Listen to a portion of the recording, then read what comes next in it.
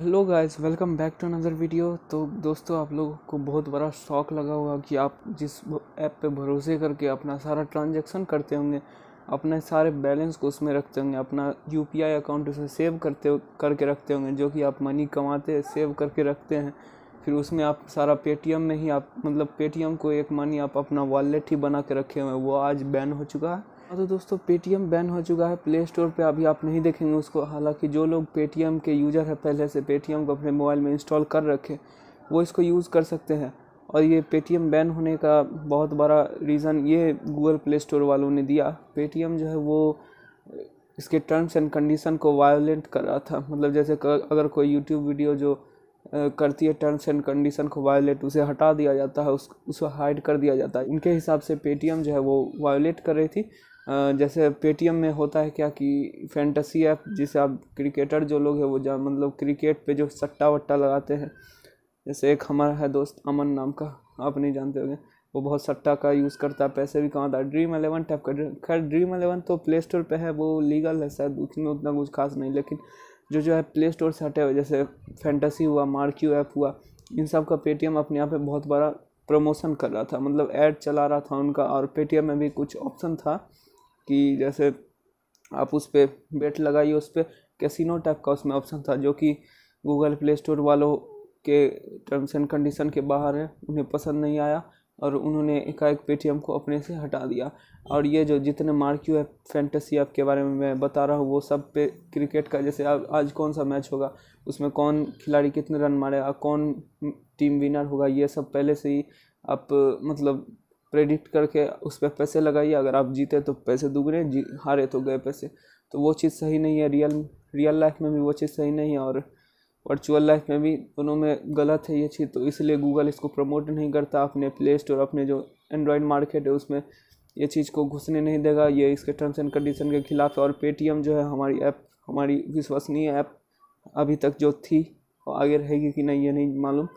तो उस, वो इस चीज़ को प्रमोट कर रहा था, उसमें भी ऑप्शन थे कैसीनो वाले और ये फैंटेसी मार्केट टाइप के ऐप जो है, उनको मतलब सट्टे जैसे लगाने के ऑप्शन थे, उस पर भी आप इन्वेस्ट कर सकते थे। बेट अगर आपको दुगना जीत गए तो दुगना मिल जाएगा, ये चीज़ कर सकते थे।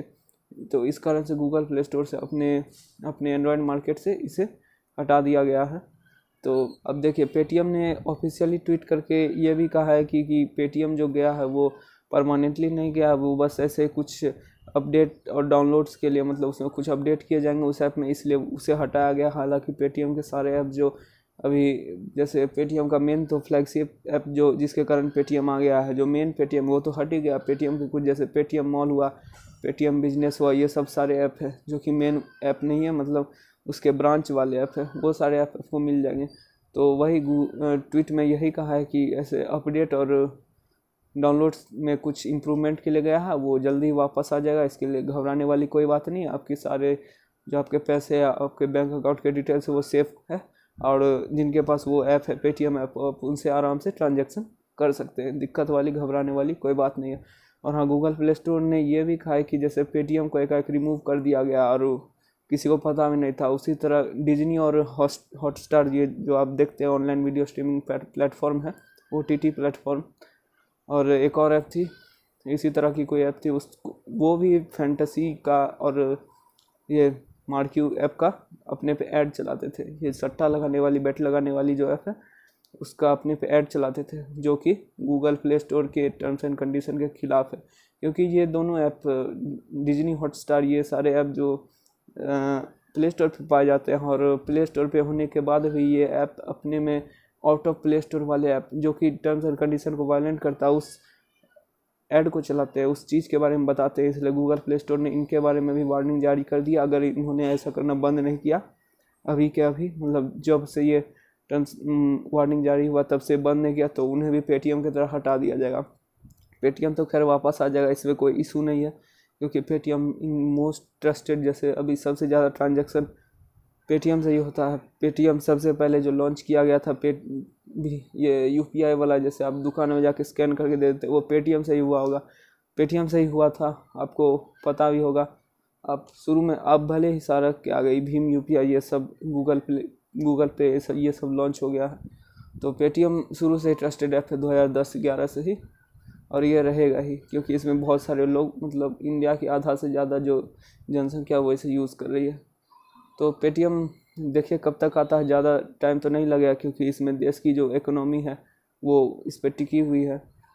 टिकी मतलब इसमें सारा बैलेंस तो इसी में, मैं भी, मेरा भी जो है, वो भी इसी में और आप आप लोगों में से बहुत सारे लोग का इसी में होगा या इसी में आपका बैंक अकाउंट वो लिंक होगा। तो इसे आना तो ज़रूर है और पेटीएम वालों ने यह भी कहा दिया कि वो आ रहा है। कुछ खास स्टेटमेंट जारी नहीं किया। अपने ट्वीट में, बस ये कह दिया है, आपको मैंने बता ही दिया जो बात हुई है, और वो जल्द से जल्द लौट आएगा। इसी तरह के अपडेट्स पाने के लिए हमारे साथ बने रहे। अगर कोई अपडेट आता है तो मैं ज़रूर आपको बताऊँगा। तब तक के लिए, मिलते हैं आपसे नेक्स्ट इसी तरह के किसी वीडियो में। जय हिंद, वंदे मात